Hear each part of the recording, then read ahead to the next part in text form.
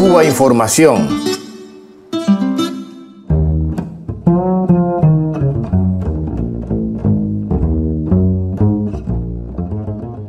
No hay país que cumpla a la perfección la Carta Internacional de los Derechos Humanos, pero un examen riguroso y no prejuiciado por los medios nos indica que Cuba es uno de los países del mundo, más aún entre los del sur, con mejor balance en el cumplimiento y respeto de los derechos humanos. Algunos ejemplos.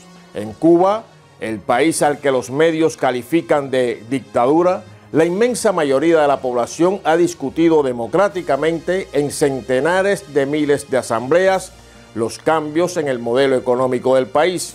En Cuba hay una absoluta libertad de culto religioso y presenta una diversidad de prácticas mucho mayor que en otros países de la región. Eso sí, por mandato constitucional la religión no entra en la escuela.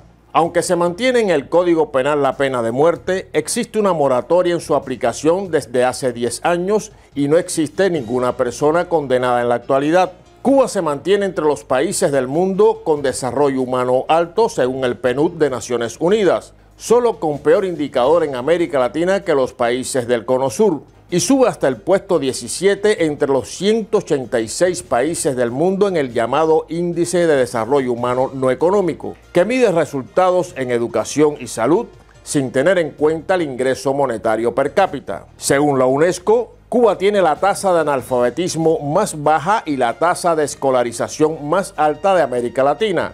UNICEF avala además que obtiene la más baja mortalidad infantil de toda América, mejorando la de Canadá.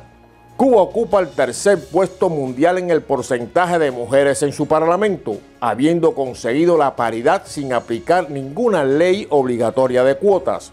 En los últimos años, además, ha habido en la isla avances significativos en algunos aspectos muy cuestionados por los medios, a principio de 2013 se realizó una reforma migratoria que eliminó el permiso para viajar fuera del país y se mejoró notablemente el acceso a Internet. Por supuesto que Cuba no es perfecta, pero sus errores distan mucho de los horrores de tantas supuestas democracias de la región.